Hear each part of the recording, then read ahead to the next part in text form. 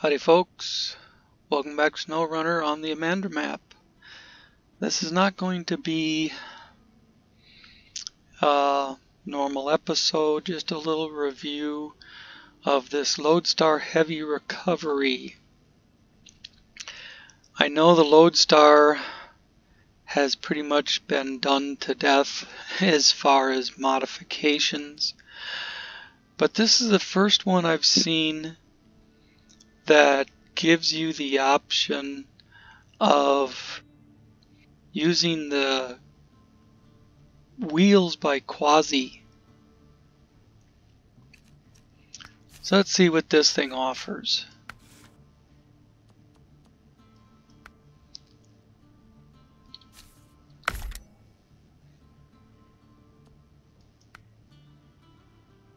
Now this doesn't even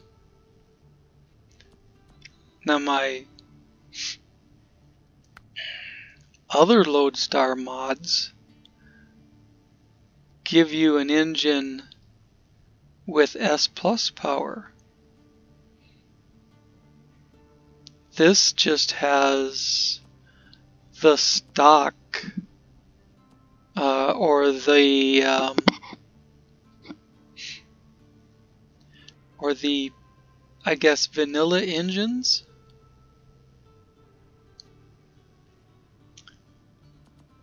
This only has what you would consider the vanilla engines. It has a custom gearbox.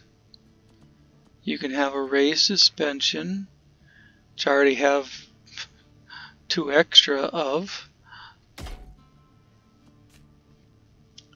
Um,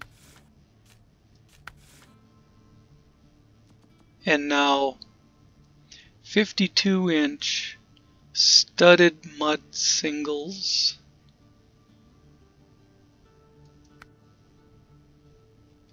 You have 39 inch or 52 inch. That's simply a mud tire. In the case of the cat, those are called ice monster tires the way they have the cuts in the tire. Those are what the ice monster tires look like.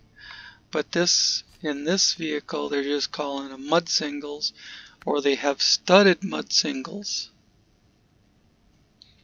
So we're going to go with the studded because that does not have any ice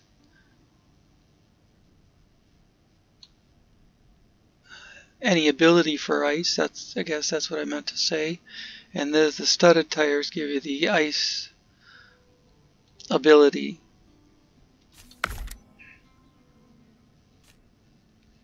That's the big the big moo about this vehicle is those wheels. Um, a medium power autonomous or an advanced medium. The advanced medium, while it gives you the combination of the extended rope length and the and the high power, is not going to give you any autonomous ability. So I'm going to put the autonomous winch on it just because.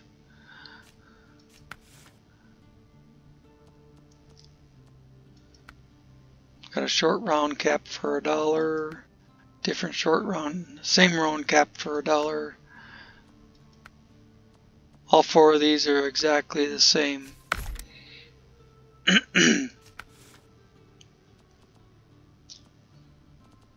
got from the bottom up LC38 loading crane, service cab, 2,500 repair parts, 12 spare wheels, and 2,000 fuel. So he has done some work on the service cab. It always had repair parts, spare tires, and fuel, but not that much. That's the normal service cab. Not even spare tires and fuel, just simply repair parts. I was mistaken about it having tires and fuel. The normal service cab is simply repair parts. This service cab has the shit. Holy moly. That makes it worth taking. Pickup chassis add-on, 508 and 500.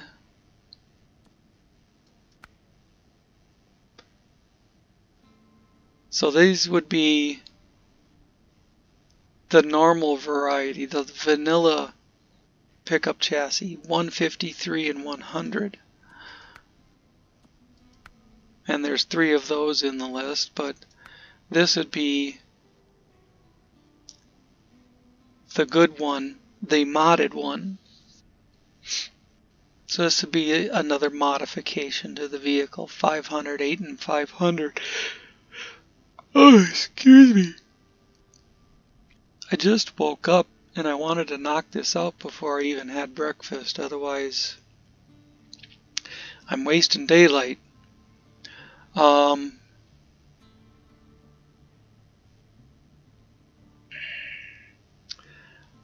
my other Loadstars, which I have like four, three or four of, um, I'll run the pickup chassis add-on. I think I'm going to stick the service cab on this. The pick pickup chassis add-on adds the least amount of weight and has the lowest center of gravity.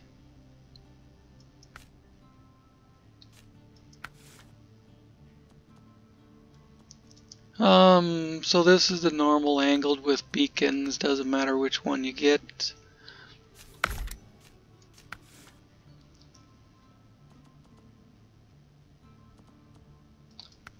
You got a flasher bar. There's like three or four of each of these in the list. It appears that they're just duplicates. You got the roof fog lights, doesn't matter which one you click on, it's the same thing. And you got the beacon with fog lights. It doesn't give you you could go with the roof fog lights and then put beacons on it, but it doesn't give you a straight up beacon option. So the only way to get beacons is to do the beacon and fog lights.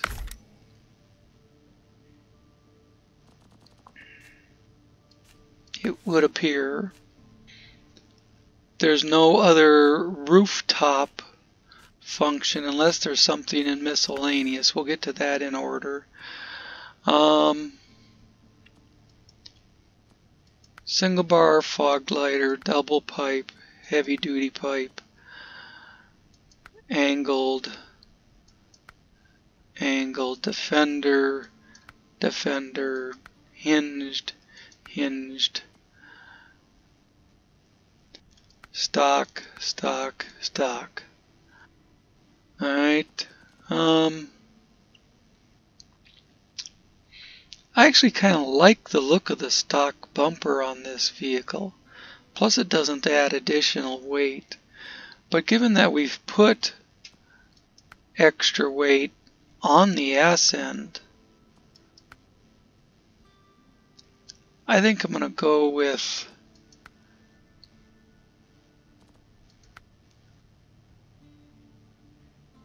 well the Defender gives you the look of having a winch on the front and it gives you a couple of fog lights. Although I like the look of the single bar or the heavy duty pipe better. I really kind of like that one. It just doesn't. If he just um, if he just added a winch in the center, that'd be the perfect one.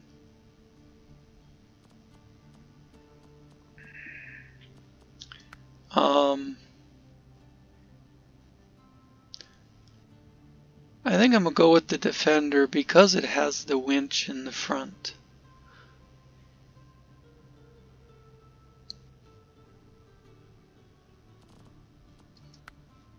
You know, I still like the looks of that one though.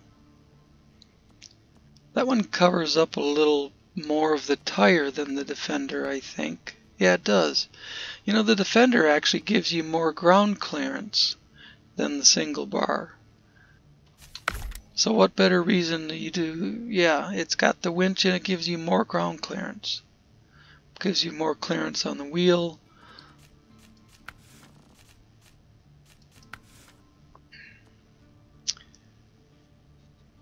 Uh, now this does have some rooftop stuff.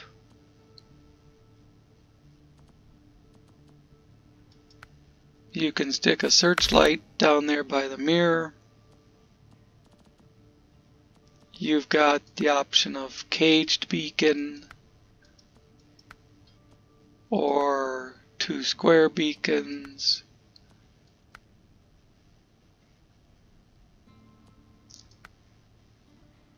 The chrome parking lights, everything else, the square beacons, the caged beacons, all eliminate the beacons and fog light combo that I had on there. The chrome parking lights allows that to come back. So I'm going to go with that. Um,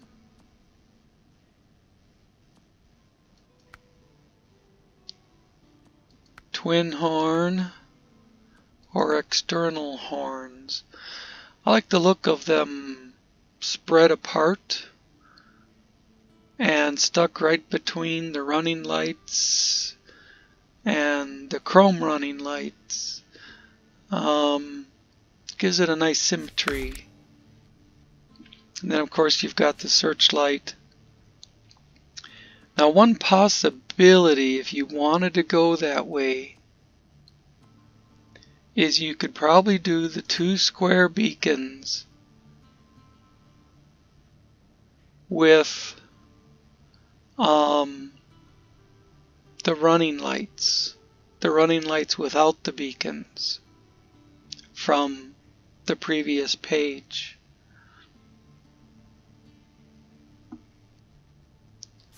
Let's experiment with that.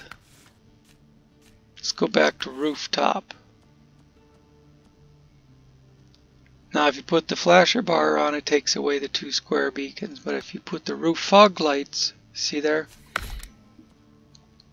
Fog lights with the two square beacons. You can do that. So then you can have your you can have your fog lights and your beacons as separate parts on the roof of the vehicle.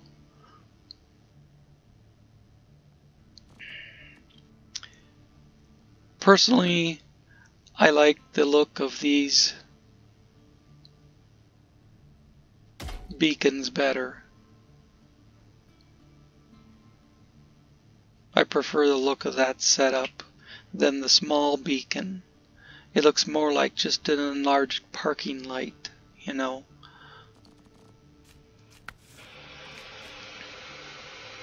Alright, we explored the shit out of that, so um, only one choice for rims. Let's find a color for it.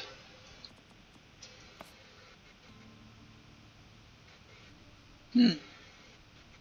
It's actually not bad. It's supposed to be a two-tone. I don't see a lot of two-tone other than the fenders. Maybe the fenders are different than the rest of it. Same there. It's mostly one color. And that again is supposed to be like a three tone. These are supposed to all be like have three different colors on it. I don't see it. I see two. Between the hood and the fender, they're a little different blue. Same with the red. It's mainly red with the fenders a different color. Looks like it's either body or fender that changes color.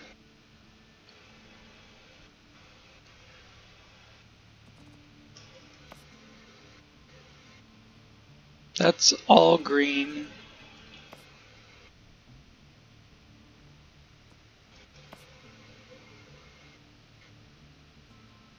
I kind of like the red. What the hell? Are there any interior customizations? Sure there is. I wish we could get the Joker, but you have to um, complete one of the Michigan trials to get the Joker. Oh, no, I'm mistaken. In the when you're first loading the game and it has a button for the trials, that's what you have to complete. You have to complete the Ride on King trial to get this item. Which is different from the public test server because I had the Joker in the public test server.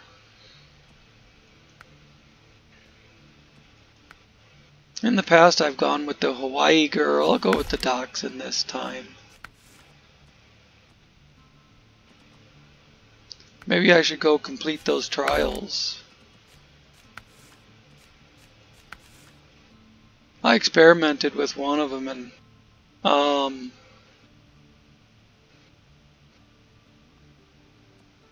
this one looks fine.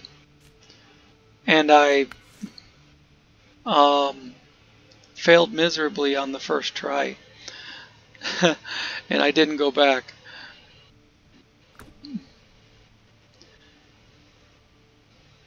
So those there's your new Loadstar Heavy Recovery. The three modifications are the wheels and the difference in repair points and fuel and wheels with the service cab and then the difference in repair points, fuel, and wheels with the pickup chassis add-on. Otherwise, it's pretty much vanilla. I'm really kind of surprised that he didn't give it a better engine. It only has the vanilla engines, which means you only have A plus power. but um, we'll take it out and run it up and down the hill that I normally use and see what that power looks like. Try to make it daytime. Turn on my controller.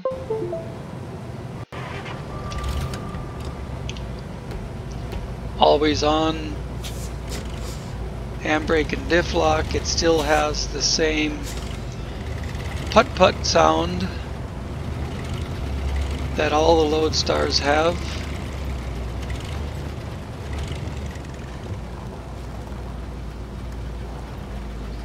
But personally, I would like to have seen them done more with. Would like to have seen him done do more with the engine.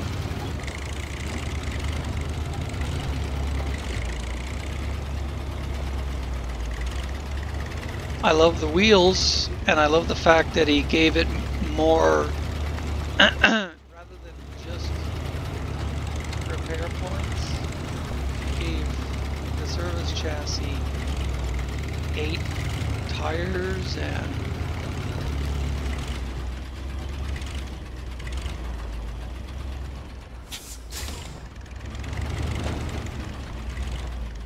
1500 fuel, something like that. I should be able to knock that down, but it seems to be having trouble with it.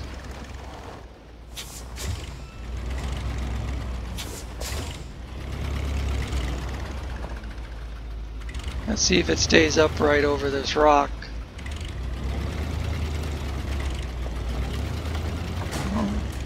Took the rock no problem. I wonder if um,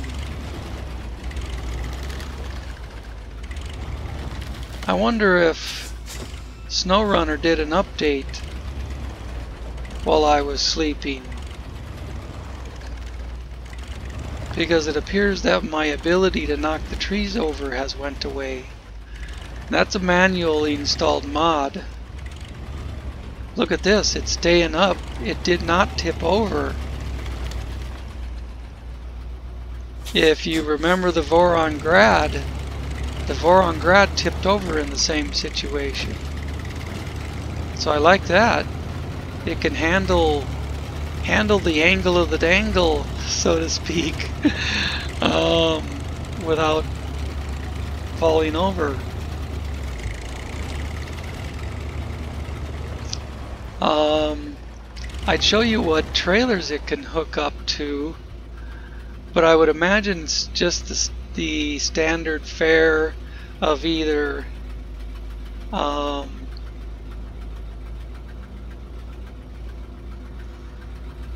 scout trailer. I see it's got a ball on it. So it's gonna do your scout trailers. Whether or not it'll do a pintle style well I guess we could find out that right now but I kind of doubt it. Where's that?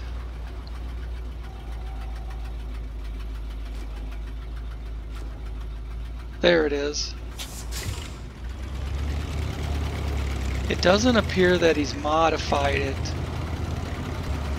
to handle either Pintle or Scout. He hasn't done a lot of modification to the truck other than the wheels.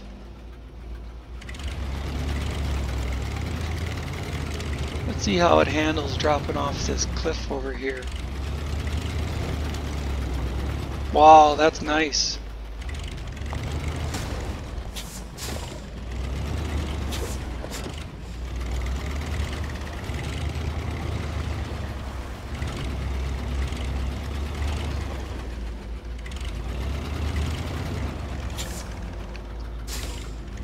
So we're going to answer whether it'll hook up to a pintle or not.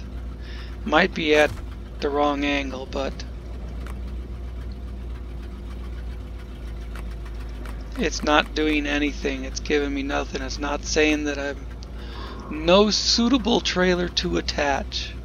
That's the that's the word it's given me. No suitable trailer to attach. So that tells me it will only run scout trailers.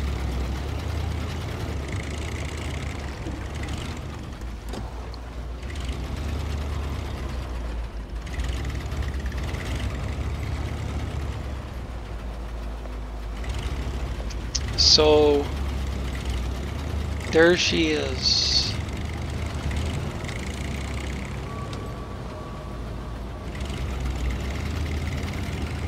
I'm going to pull it up here behind the Kodiak. There's my M134.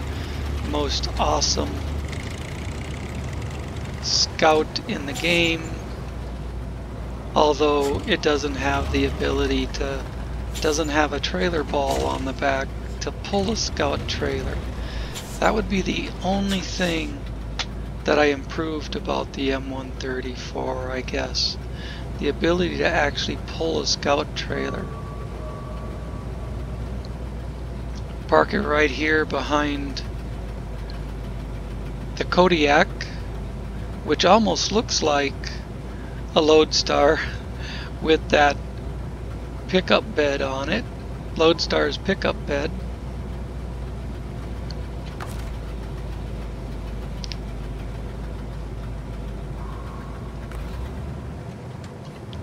stop engine and just leave her parked right there. Alright, this is the last of the reviews of modded vehicle, the new modded vehicles that I've downloaded. And we'll get back to the game. Thanks for watching.